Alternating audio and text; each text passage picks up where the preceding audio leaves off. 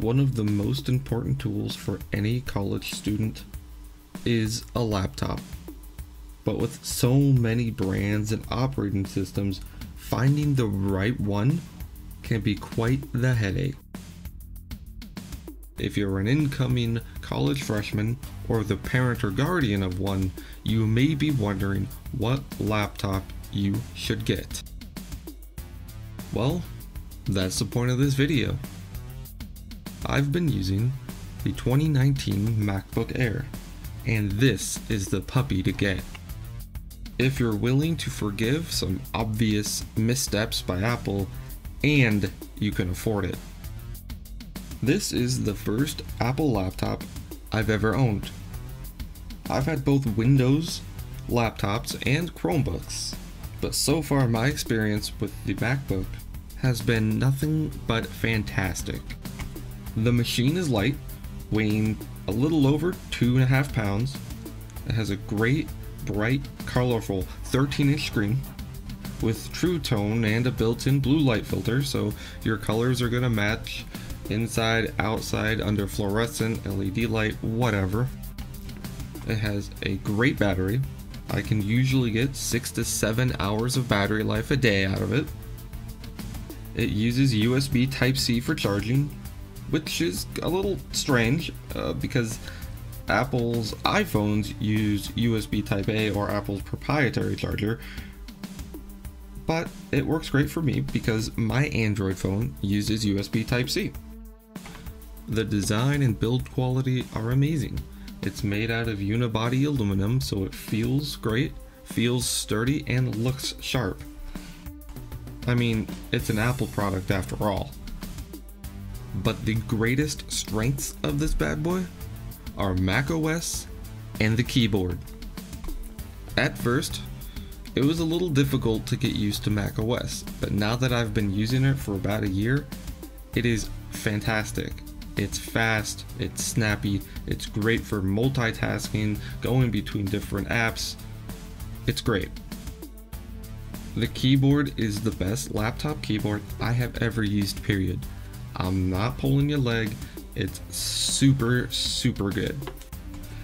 The keys are spaced perfectly, they have great travel, they are wicked comfortable, and have actually made me a faster and more accurate typer.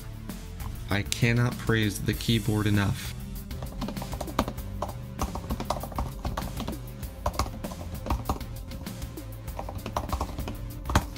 The trackpad is glass and it's really great too. If you have an iPhone, you can take advantage of AirDrop and iMessage, which work great between the iPhone and Mac, or so I hear. Sadly, I may never know as I use Android. With all the greatness of this machine, there are bound to be some not so great things. First is the hard drive. There are only two models, 128 gig and 256 gig, and that's it.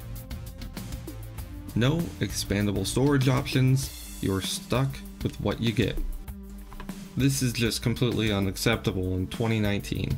It was unacceptable in 2016. This wouldn't be so bad if the machine didn't cost $1,000 for just 128 or $1,200 for 256. I bet this small hard drive is done on purpose so Apple can push its iCloud services, which me no likey. I don't want to have to download my stuff from a cloud every time I want to use it. Give me a decent hard drive for the price. The webcam also sucks. It's terrible, it's bad, probably one of the worst webcams I've ever used.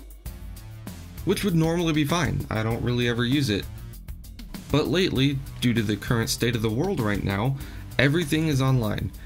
Everything is through Zoom, and having a good webcam is very, very important. I don't understand why Apple couldn't just take an iPhone camera and place it in this thing. It would be a million times better than whatever crappy camera they have in it now.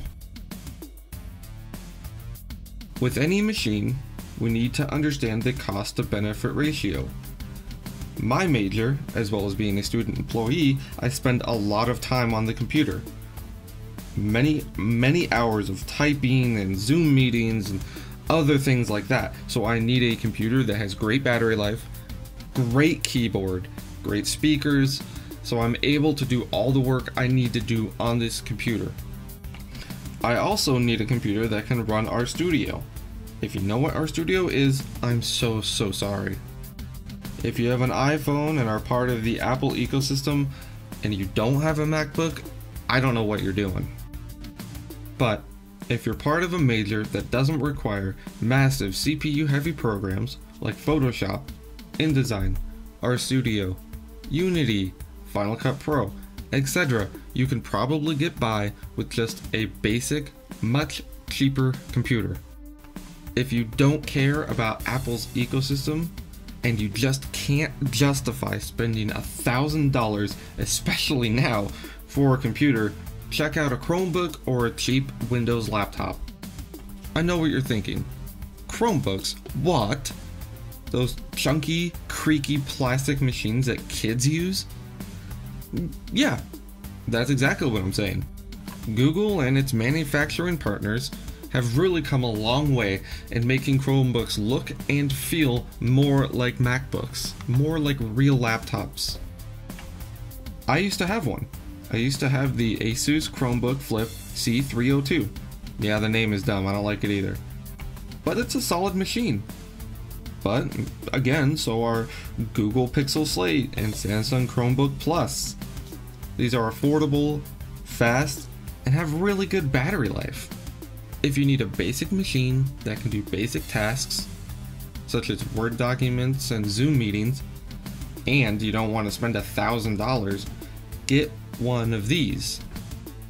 However, with that said, for this college student, the 2019 MacBook Air is the best of the best. At least for me. For the way I use my computers, it's the best laptop I've ever had. If you want a Mac laptop, but you don't want to spend $1,000, you can get 2018 or 2017 MacBooks for relatively cheap. But I needed something new, something fast, and, you know, it doesn't hurt to flex a little bit if you can, right? If you have any questions or comments or anything, if you hate my stupid face, put it all down in the comments, and I'll see you guys in the next one.